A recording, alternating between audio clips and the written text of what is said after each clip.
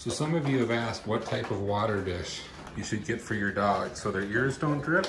This is the type of water dish we have for our dogs so that you can see, even though they make a mess, their ears don't drip and their ears don't hang in the water.